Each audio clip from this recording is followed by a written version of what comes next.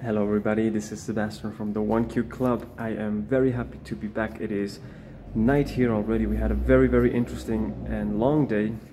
Uh, this morning we went out with a truck trying to find Miguel's house. Um, if you don't know who Miguel is, go in our uh, history and find the video. It's called Miguel.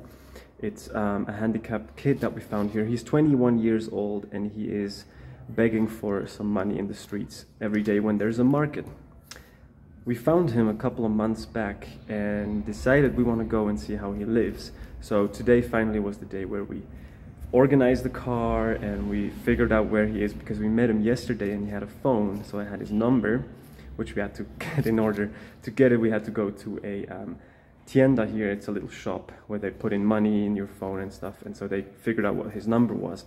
They gave it to me and so today we could finally go.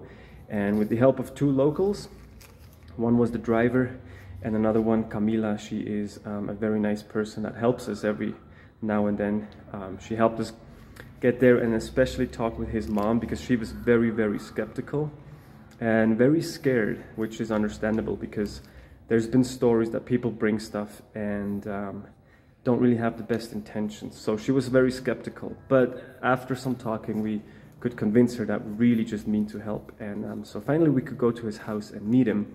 And it was so beautiful to see his house. He has a bed, which is very nice. They don't have electricity, however, but um, they do live in a nice tiny little house out in the middle of nowhere in a little village called Aguas Calientes, which means hot water. And they live amongst like coffee beans. It's very dirty. There's chickens and dogs walking around, and um, they're very poor. Um, but I'm very glad to see that at least they have beds because the neighbors of them, they have two little kids and they don't even have beds to sleep in. So it's a very, very dire and tough situation. And this is just like one example.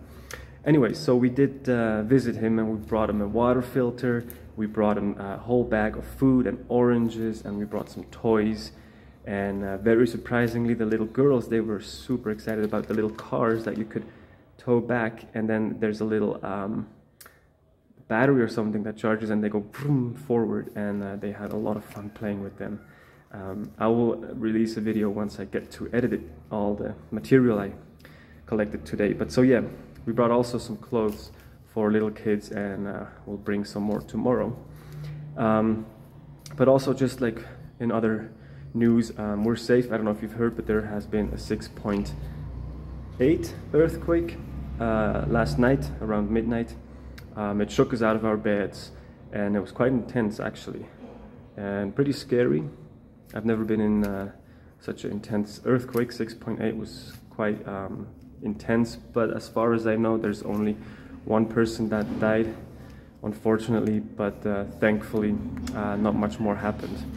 So, but we're safe. However, though, the road is collapsed, and um, so we don't know if we can go back home this weekend. We will see if that works out or not, but uh, so that's in the stars. But anyways, we're safe. I just wanted to let everybody know.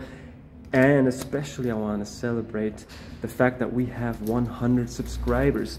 So thank you very much everybody who has subscribed, especially the 100th person. I don't know who it is, but thank you very much. Um, it means a lot. It's very, very encouraging to keep doing this um, when I see that people really enjoy it, what we do. So a big thank you to everybody that has subscribed and likes these videos and shares them. And um, yeah, so another day. It was a beautiful sunny day here.